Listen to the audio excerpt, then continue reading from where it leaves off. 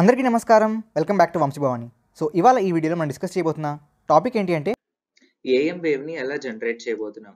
So AM wave generation గురించి ఇవాళ తెలుసుకోవాలి. అయితే దీనికి మనకి టూ టైప్స్ ఉన్నాయి. రెండు విధాలకు తెలుసుకోవచ్చు. ఒకటి ఏంటంటే లీనియర్ మాడ్యులేషన్. ఇంకో టైప్ వచ్చేసి నాన్ లీనియర్ అసలు ముందు నాన్ లీనియర్కి లీనియర్కి డిఫరెన్స్ ఏంటి? లీనియర్లు వచ్చేటప్పటికి మనకి హెవీ ఫిల్టరింగ్ అనేది జరగదు. హెవీ ఫిల్టరింగ్ అంటే ఎక్కువ ఫిల్టర్ చేయలేం. అంటే మనకి తెలిసిందే ఫిల్టరింగ్ అంటే మనకి కావాల్సిన అవుట్పుట్ అనేది వస్తుంది ఫిల్టరింగ్ చేస్తే జనరల్గా. అంటే కొన్నిటిని మనం సప్రెస్ చేస్తాము. అయితే హెవీ ఫిల్టరింగ్ వచ్చేటప్పటికి నో హెవీ ఫిల్టరింగ్ లీనియర్కి. అయితే నాన్ లీనియర్కి వచ్చేటప్పటికి హెవీ ఫిల్టరింగ్ కావాలి. సో అదొక మెయిన్ డిఫరెన్స్ అనమాట ఇంకోటి వచ్చేటప్పటికి లీనియర్కి వచ్చేటప్పటికి మనకి అవుట్పుట్ ఎఫిషియన్సీ అనేది హైగా ఉంటుంది. అవుట్పుట్ ఎఫిషియన్సీ దీనికి output efficiency will be low efficiency అంటే ఏం లేదు. Ratio of output by input అన్నమాట. సో ఇది. ఈ టూ డిఫరెన్సెస్ ఈ టూ డిఫరెన్సెస్ మీద ఏఎం వేవ్ జనరేట్ అవుతుంది. అండ్ లీనియర్లో మనకి ఓవరాల్గా యాక్చువల్గా అయితే టూ టైప్స్ ఉన్నాయి. ఒకటేమో ట్రాన్సిస్టర్ మాడ్యులేషన్ అని. ట్రాన్సిస్టర్లో ఫర్దర్గా త్రీ ఉన్నాయి.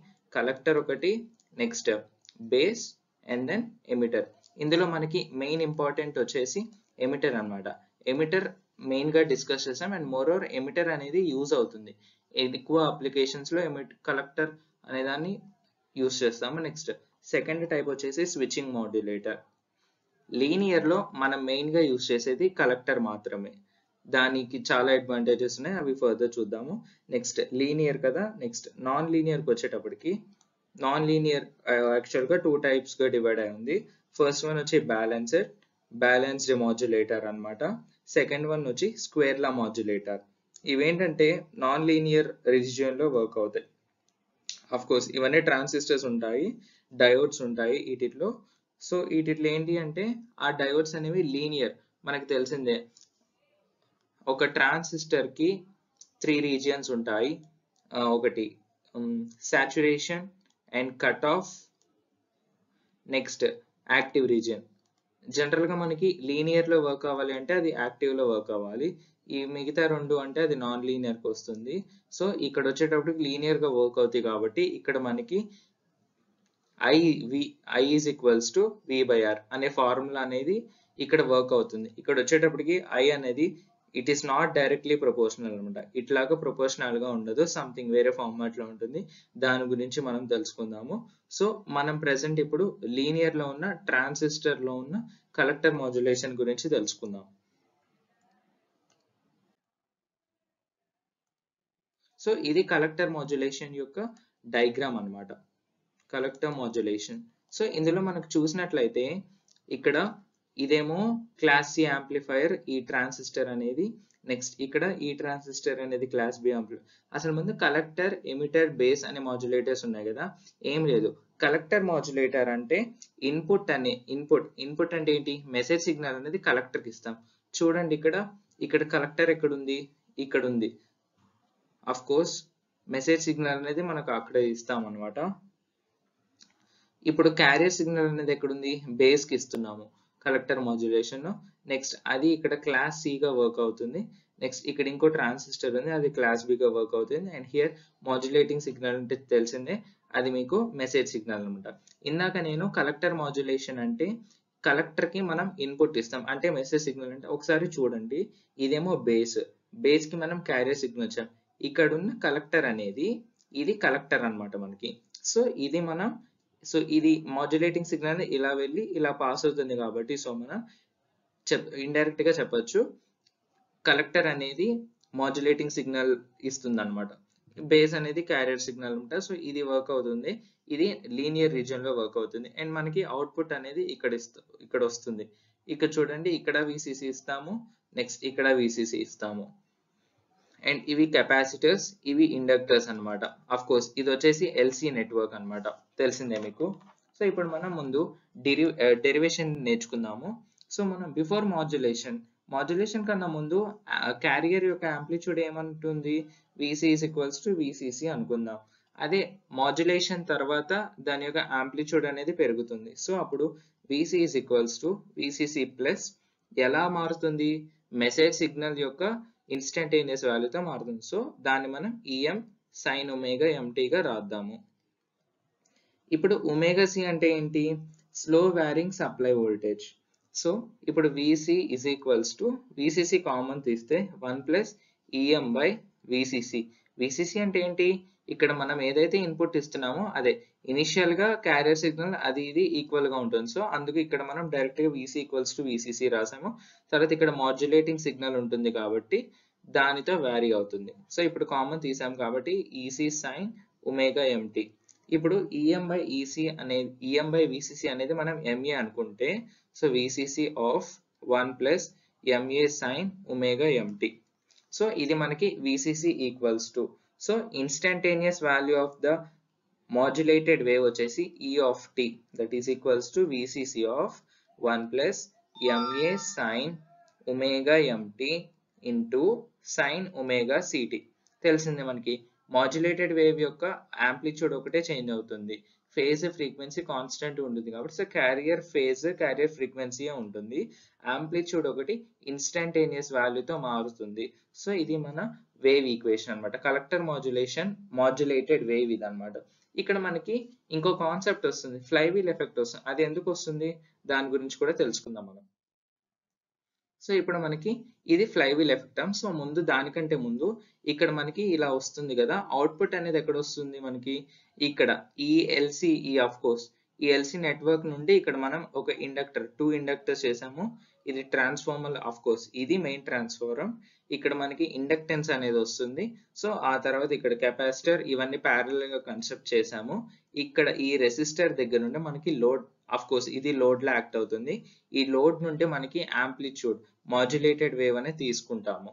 సో ఇక్కడ మనకి జనరల్గా యాంప్లిట్యూడ్ ఆఫ్ సైన్ వేవ్ అనేది ఏంటి?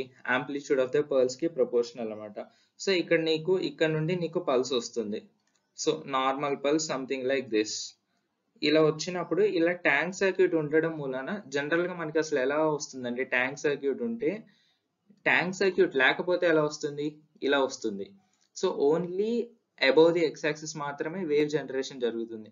అదే మనం ట్యాంక్ సర్క్యూట్ని ఇక్కడ ఇంట్రడ్యూస్ చేసాం కాబట్టి సేమ్ ఆ అబౌవ్ ఎలా ఉందో దాన్ని మనకి ఇక్కడ రెప్లికేట్ చేసి సో టూ టైమ్స్ అనేది వస్తుంది. సో టూ టైమ్స్ రావడం అనేది మనకి మెయిన్ ఇంపార్టెంట్ అప్పుడే మనకి కంప్లీట్ వేవ్ జనరేషన్ వస్తుంది కాబట్టి. సో ఈ ట్యాంక్ సర్క్యూట్ ఉండడం మూలాన మనకి ఇలా కంప్లీట్గా వస్తుంది. ఈ ఎఫెక్ట్ నే మనం ఫ్లైవీల్ ఎఫెక్ట్ అంటాము. సో ఇది కలెక్టర్ మాడ్యులేషన్ గురించి. సో ఇప్పుడు మనకి చెప్పాము బేస్ మాడ్యులేషన్ ఉంది నెక్స్ట్ ఎమిటర్ మాడ్యులేషన్ ఉంది. దానికి దీనికి మేజర్ డిఫరెన్సెస్ ఏంటి అంటే ఇక్కడ మనకి కలెక్టర్ దగ్గర మనకి మెసేజ్ సిగ్నల్ ఇస్తాం కదా అదే బేస్ మాడ్యులేషన్లో ఏంటి అంటే మనము బేస్కి ఇస్తాం. సో అప్పుడు మెసేజ్ సిగ్నల్ ఎక్కడ ఉంటుంది? ఇక్కడ ఉంటుంది. ఇక్కడ ఉంటుంది అనమాట మెసేజ్ సిగ్నల్ అనేది. అదే మనకి ఎమిటర్ ఎమిటర్ అయితే అప్పుడు ఎమిటర్ దగ్గర ఉంటుంది. సో ఎమిటర్ అంటే ఎక్కడ? ఇక్కడ అన్నమాట. ఈ పొజిషన్ దగ్గర మనం మెసేజ్ మెసేజ్ సిగ్నల్ తెస్తాం. దాన్ని బట్టి ఈ సర్క్యూట్స్ అనేవి మనకి మారుతాయి.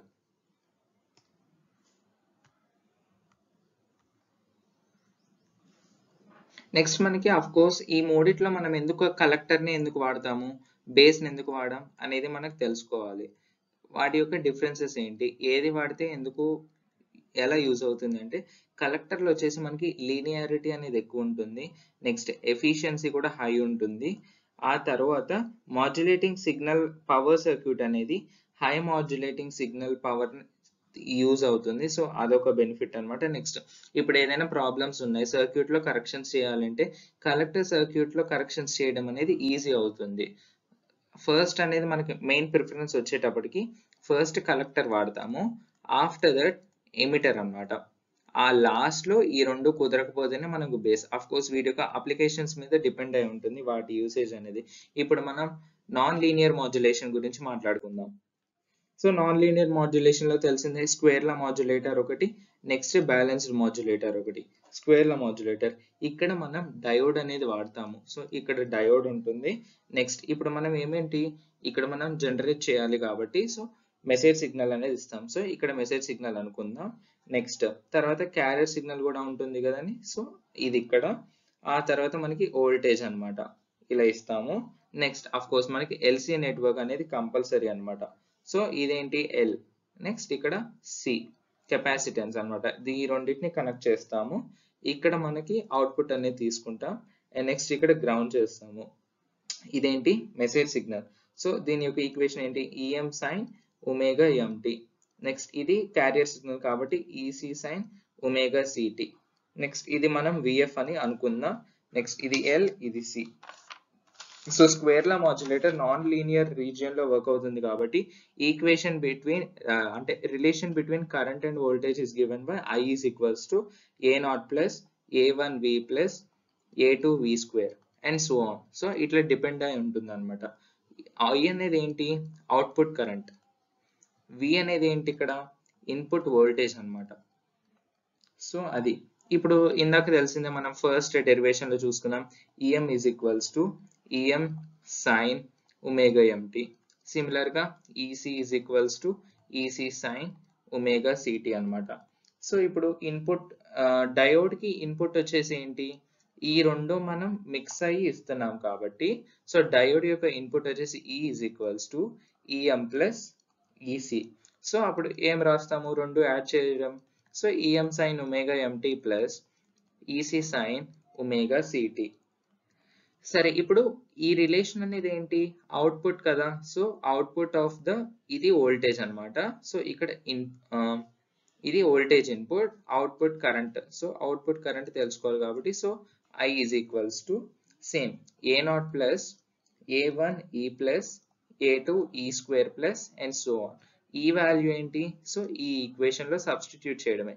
A naught plus A one of so ఈ వచ్చేసి EM sine omega MT plus EC sine omega CT plus so A two into మళ్ళీ ఈ స్క్వేర్ అనమాట సో అలా సో ఆన్ అనమాట సో ఇది IO output so output equation అనేది ఇలా వస్తుంది. ఇప్పుడు మనం నెక్స్ట్ స్లైడ్లోకి వెళ్దాం అనమాట సో ఇందాక రాసాం కదా మనం equations so IO is equals to ఇప్పుడు నేను డైరెక్ట్గా మల్టిప్లై చేయబోతున్నాను. So A one EM sine omega MT plus A one EC sine omega CT plus A two EM square A two EM square sine omega MT so అలానే same ఇంతే A two EC square sine omega CT plus two A one of course A two వస్తుంది EC sine omega MT sine omega CT and so on ఇది యాక్చువల్గా మనకి infinite series అనమాట కాకపోతే మనం first two వరకే తీసుకుంటాము. ఎందుకంటే సేమ్ వస్తుంది. సో ఆబ్వియస్గా I naught is equals to ఇప్పుడు మనం కామన్ తీసినట్లయితే ఫైనల్గా వచ్చేటప్పటికి ఫైనల్ ఈక్వేషన్ వచ్చి A naught plus A two EM square by two plus A two EC square by two plus A one EM sine omega MT plus A one EC sine omega CT minus A two EM square by two cos of two omega MT ఇంకా చాలా పెద్ద equation ఉంది. ఇంకా ఉంది. A two EC square by two cos of two omega CT plus A two EM EC cos of omega C minus omega M of T minus A two EM EC of of ఆఫ్ c plus plus m of t. So ఈ equation మనం జాగ్రత్తగా చూసినట్లయితే ఇదంతా వచ్చేసి మనకి ఎటువంటి sine term కానీ కాస్ టర్మ్ కానీ లేదు. సో ఇది మనకి డీసీ కాంపోనెంట్ అవుతుంది. నెక్స్ట్ ఇదేంటి? నథింగ్ బట్ మెసేజ్ సిగ్నల్ అనమాట EM sine omega MT next ఇది వచ్చేసి క్యారియర్ సిగ్నల్ నెక్స్ట్ ఈ టర్మ్ అనేది చూడండి దీని యొక్క ట్వైస్ ఆఫ్ ఫ్రీక్వెన్సీ ఉంది. నెక్స్ట్ ఇది కూడా అంతే. So twice of carrier frequency next ఈ రెండు వచ్చేటప్పటికి మనకి ఒకటి ఎల్ఎస్బి అవుతుంది నెక్స్ట్ ఇది యూఎస్బి అవుతుంది. ఇది మనం స్క్వేర్ల మాడ్యులేటర్ నెక్స్ట్ వీడియోలో మనం బ్యాలెన్స్ మాడ్యులేటర్ గురించి చూద్దాము. థ్యాంక్ యూ వెరీ మచ్ జై హింద్ జై భారత్